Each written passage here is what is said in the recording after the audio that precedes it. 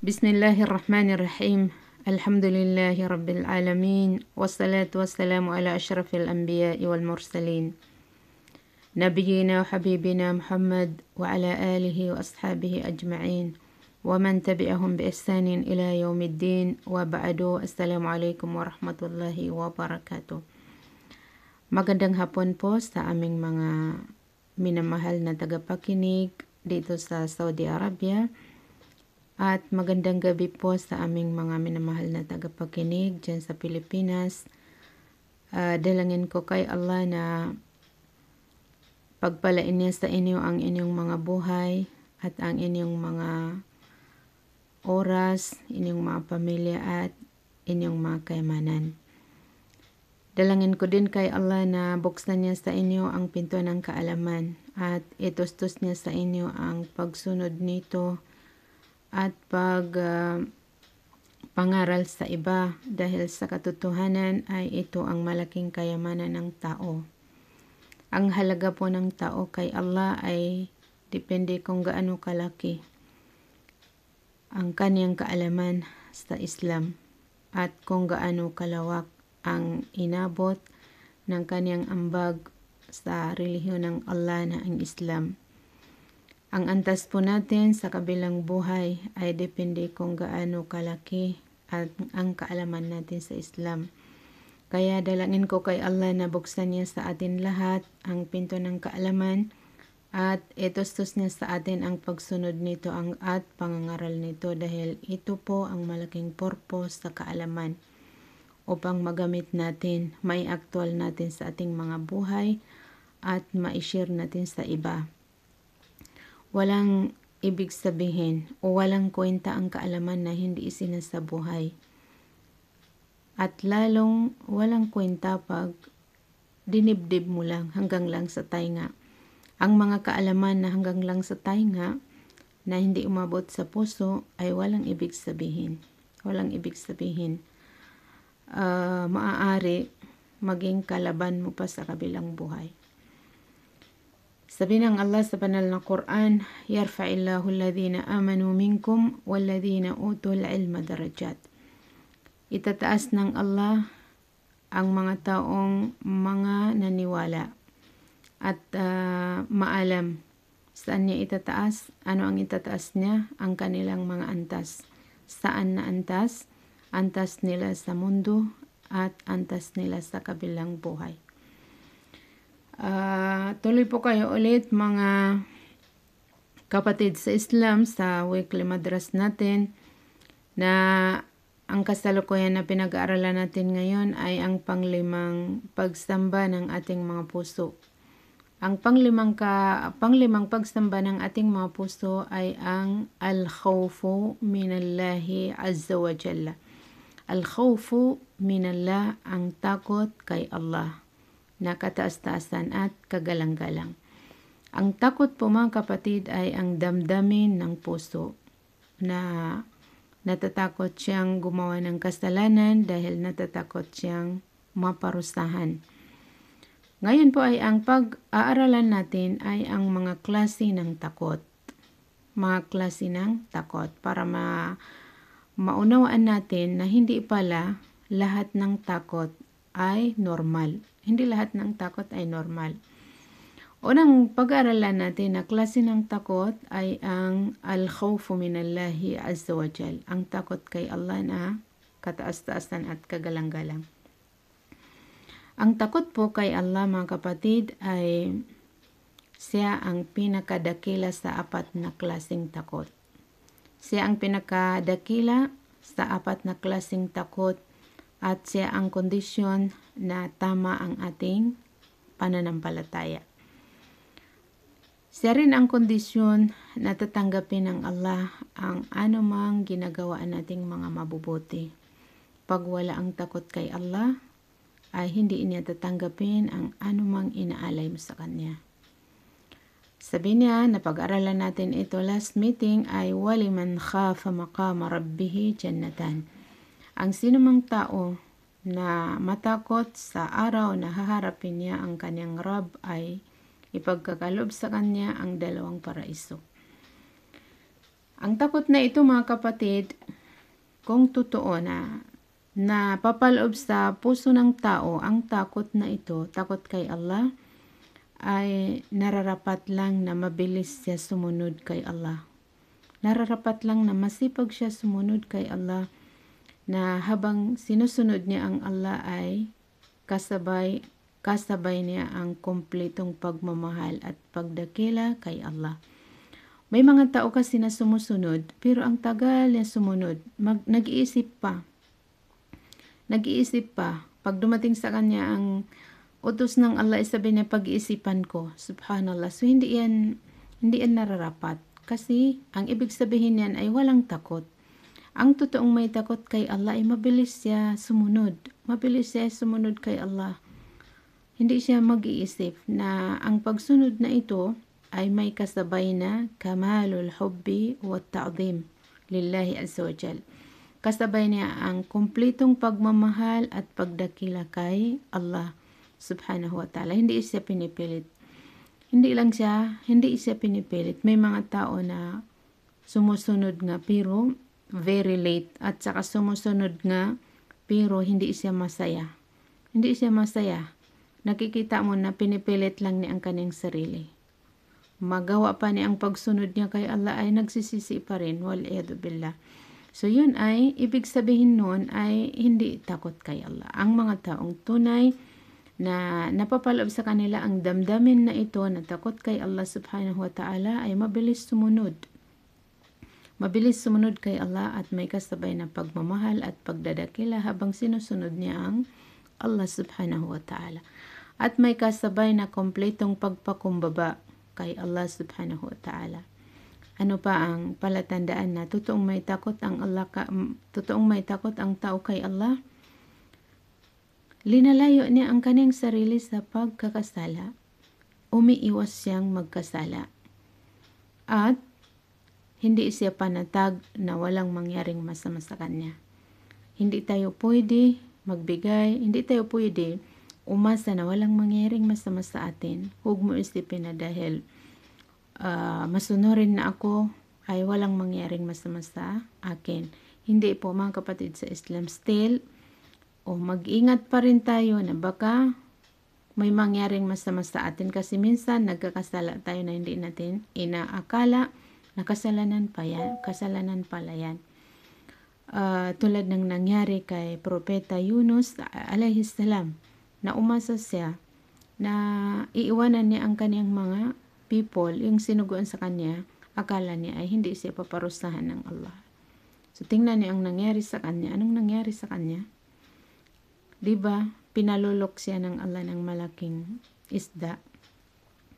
Dahil binigyan niya ng aral upang maging aral din sa atin na hindi pwede magbigay ng kumpiyansa. Huwag tayo maging panatag na walang mga hindi tayo paparusahan ng Allah subhanahu wa ta'ala. So, yun po ang nararapat sa mga taong takot kay Allah na hindi sila magbibigay ng kumpiyansa.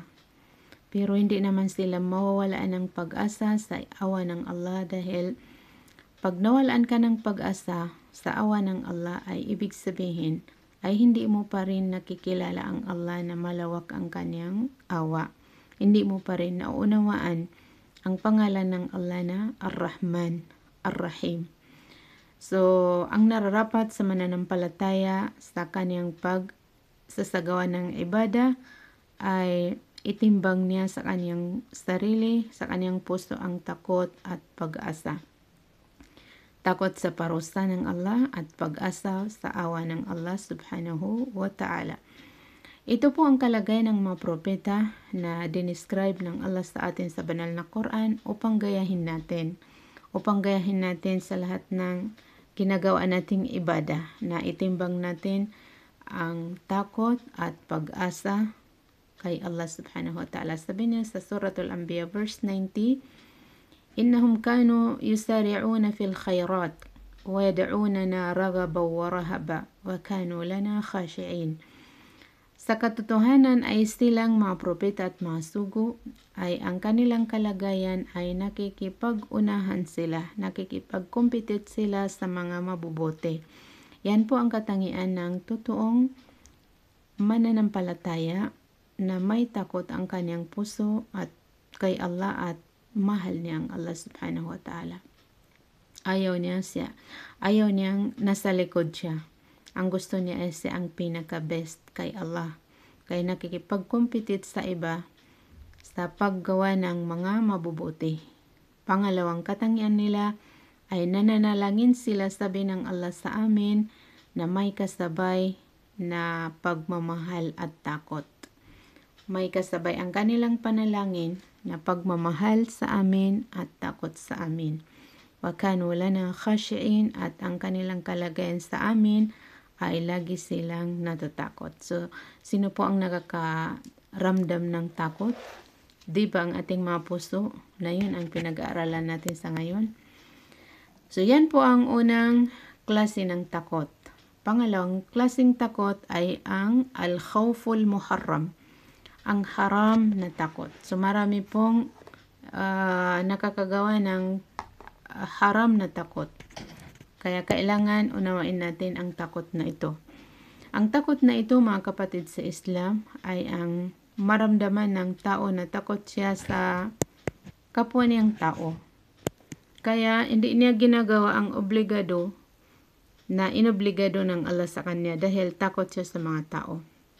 O di kaya ginagawa niya ang bawal, ginagawa niya ang haram na ipinagbawal ng Allah dahil takot siya sa mga tao.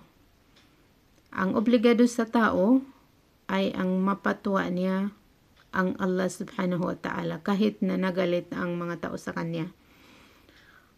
Uh, kaya ginagawa niya ang haram para lang sa mga tao kahit na nagalit ang Allah sa kanya. So miligro ito masyado.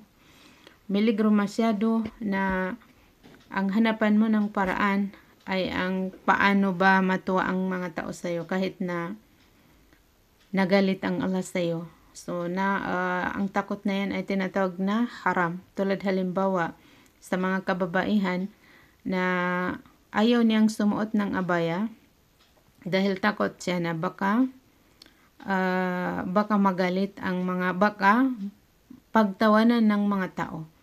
Kaya sumuot siya ng tulad ng uh, karaniwang kasuotan ng mga kababaihan sa Pilipinas. Gumaya siya sa kanila kasi takot siya na baka pagtawanan o baka ganito ganyan. So, anong klaseng takot yan? Haram na takot.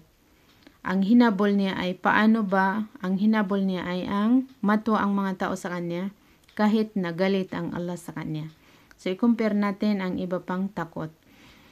Uh, sabi ng Allah subhanahu wa ta'ala sa surah Nisa verse 142 na proof na ang katangian na ito ay haram. Sinabi niya, Innal munafiqina yukhadi'un Allah wa huwa khadi'uhum. Wa idha qamu ila salati qamu kusala yura'una an-nasa wa la yadhkuruna Allah illa qalila. Sa katotohanan, ang mga hypocrite ay linuloko nila ang Allah. Subalit ang Allah ang lumuloko sa kanila. Binabalik niya sa kanila ang kanilang panluluko. Wala silang naluluko kundi ang kanilang sarili kasi sila ang paparusahan. Hindi katangian ng Allah na manluloko. Subalit sino man ang nagluluko sa kanya ay binabalik lang niya sa kanya. Tulad halimbawa ng mas pinipili mo pa ang tao kay Allah subhanahu wa ta'ala kaya yun din ang aniin mo. Uh, pag sila ay nagdasal, sabi ng Allah ay tinatamad sila. Tinatamad sila sa kanilang pagdadasal, hindi sila masaya. Pinipilit lang nila ang kanilang sarili. Yun ang katangian ng mga hypocrite, na ang mga hypocrite ay ilalagay ng Allah sa pinakailalim ng imperno wali'adbillah. Yuraunan nas na pakitang tao sila ang hinahabol nila ay ang mata ng mga tao kung paano ba sila ma-appreciate ng mga tao. So, yun ang karamihan sa, nakakalungkot sa karamihan sa mga tao. Ang hinahabol nila, ang mahalaga sa kanila ay ang apresisyon ng mga tao. Kahit na nagalit ang Allah sa kanila, ay wala silang pakialam. Wala silang pakialam na nagalit ang Allah sa kanila wala silang pakialam na nalabag nila ang batas ng Allah basta lang makasabay sila sa uso at walang masabi ang mga tao sa kanila. Kasi ang mahalaga sa kanila ay ang mata ng mga tao. So masyado ito miligro mga kapatid sa Islam. Wala yadkuruna Allah illa qalila. Hindi nila naaalaala ang Allah maliban lang sa minsan lang. Minsan lang nila naaalaala ang Allah subhanahu wa ta'ala. Ang munafiq ay ang mahalaga sa kanya ay matuwa ang mga tao sa kanya. At uh, wala siyang pakialam kung magalit ang Allah sa kanya. Yahlifuna billahi lakum liyurdukum wallahu wa rasuluhu ahaku ay yurduhu in, in kanu mu'minin. Surah At-Tawbah verse 62. Uh, ah, nagsusumpa sila sabi ng Allah, nagsusumpa sila kay Allah. Sinasabi nila na wallah, Saan sila nagsusumpa? Liordo, uh, yahlifuna billahi lakum Nagsusumpa sila sa inyo Liordukum para lang matuwa sila, para lang matuwa kayo sa kanila. Para lang matuwa kayo sa kanila. So, bakit sila nagsusumpa? Bakit sila nagsasabing wallah? Para lang matuwa kayo sa kanila. Pero hindi ang totoo. Hindi totoo sa kanilang mga puso. Wallahu wa rasuluhu ahaqu ayurdo. Ang Allah at ang kanyang sugo ang nararapat na gawaan nila ng mabuti upang matuwa sa kanila ang Allah ang Allah ang nararapat na hanapan nila ng paraan na matuwa ang Allah sa kanila. Hindi kayo. Hindi kayo ang dapat hindi kayo ang dapat matuwa sa kanila. Hindi mahalaga na gumawa sila ng anumang bagay para lang mapatuwa nila kayo. Ang Allah dapat ang gagawa nila ng paraan upang matuwa ang Allah sa kanila. Wallahu ahaqu wallahu rasuluhu ahaqu ayurdu in kanu mu'minin kung totoo na sila ay mga mananampalataya. So dahil hindi sila mga mananampalataya, ayun ang nangyayari sa kanila. Pag ang tao ay nakita among mas mahalaga sa kanya ang mata ng mga tao kaysa mata ng Allah ay tanda ito na hindi siya natatakot kay Allah at hindi siya mananampalataya. Kasi dito sa verse na to ay sinabi ng Allah na in kanu mu'minin kung totoo na sila ay mga mananampalataya. Sinabi pa ng sugo ng Allah, من التمس رضا الله بسخط الناس رضي الله تعالى عنه وأرضى عنه الناس ومن التمس رضا الناس بسخط الله سخط الله عليه واسقط عليه الناس رواه الترمذي Ibig sabihin, sino man ang taong hanapan niya ng paraan ang uh,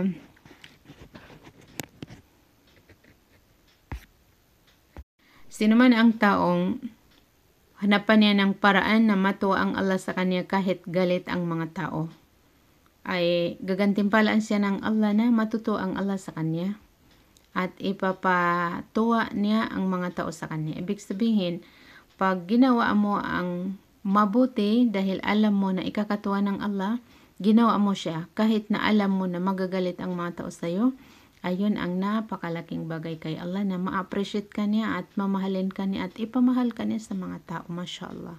Tapos vice versa, pag ginawa mo, pag ginawa mo ang ikakatuwa ng mga tao, kahit nagalit, ikakagalit ng Allah ay paparusahan ka ng Allah nang hindi mo maramdaman. Magagalit ang Allah sa iyo at ipapagalit niya ang mga tao sa iyo. So, hindi mo rin matupad. Akala mo ay matutuwa ang uh, mga tao sa hindi. Kasi ang pagmamahal ng mga tao ay sa kamay ng Allah. Depende kay Allah subhanahu wa ta'ala. So, napakamiligro mga kapatid sa Islam. Ang pangalawang klase ng takot na haram na takot.